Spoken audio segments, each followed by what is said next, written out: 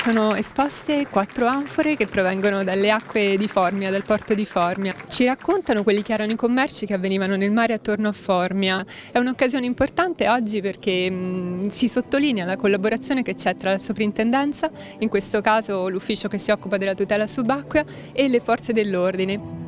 Dal mare del Sud Pontino al Palazzo di Giustizia di Cassino, in una mostra voluta da procuratore, presidente del Tribunale e Ordine degli Avvocati.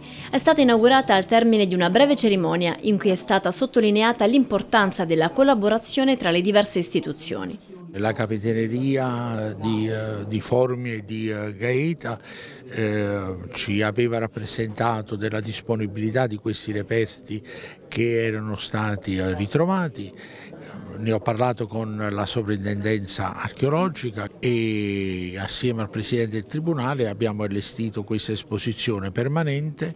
Oggi eh, congiungeremo formalmente attraverso questa esposizione delle anfore il Sud Pontino al Tribunale di Cassino.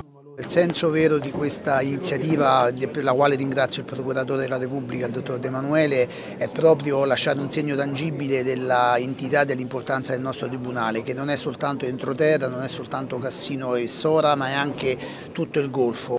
La vetrata che custodisce questi reperti è nell'atrio del Palazzo di Giustizia, tanti quindi potranno ammirarli ogni giorno. Il nostro territorio è un territorio che è ricchissimo di un patrimonio diciamo, artistico, archeologico, storico molto ricco, credo sia molto importante che trovi ospitalità eh, in una struttura come il Palazzo di Giustizia dove può essere fruito da una pluralità di utenza molto vasta, molto ricca. Diversi rappresentanti di istituzioni e forze dell'ordine hanno partecipato alla cerimonia di consegna di questi pezzi di storia recuperati dal mare, dalla Guardia Costiera.